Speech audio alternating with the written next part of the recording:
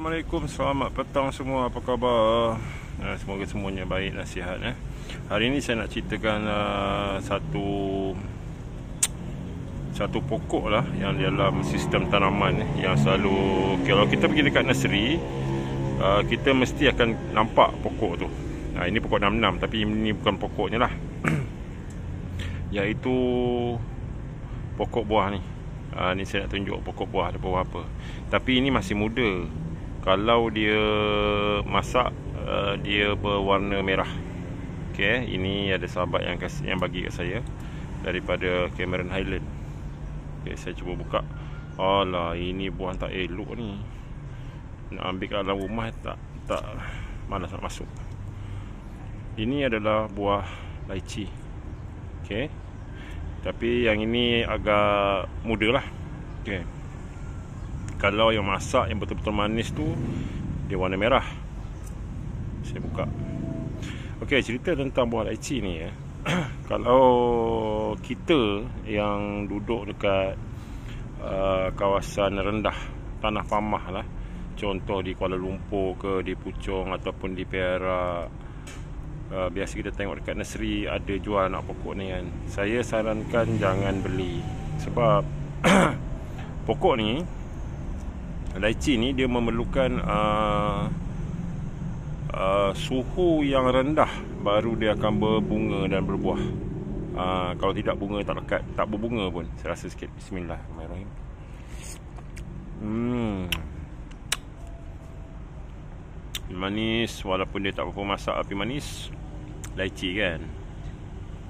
Jadi um, Lychee ni dia punya masalah dia pokok kalau dia nak berbuah dia memerlukan suhu yang agak rendah. Kalau tak salah saya lebih kurang dalam uh, 22 Celsius ke bawah. Uh, kalau dekat uh, siapa yang tinggal di tanah tinggi sama ada di Genting Highland uh, ataupun di uh, lodging Gua Musang ataupun di Cameron Highland lah. Uh, InsyaAllah kalau kita tanam dia akan berbuah.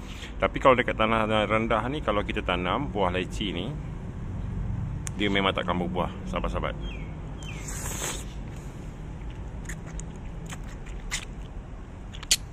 Hmm. Dah. Ini hmm, Kalau kita tanam eh, lychee ni Hidup. Pokok pun subur Kita baja subur Tapi Takkan berbuah lah uh, ada saya dulu uh, kenalan saya ada pernah tanam dan sampai sekarang tak berbuah. Pokok besar dah. Dia punya daun bentuknya lebih kurang dalam pokok longan uh, pokok longan eh. lebih kurang macam tu lah. Uh, ini perkongsian saya kepada sahabat-sahabat. Uh, jadi siapa pergi ke nak membeli pokok jangan belilah. Kan? Saya tak nak nanti kecewa lah kecewa.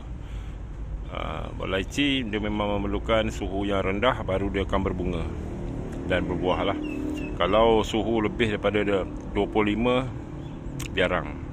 Kalau berbuah pun bunga tak cantik. Kalau 30 memang tak jadilah. Memang tak jadi. Itu je perkongsian saya untuk sahabat-sahabat.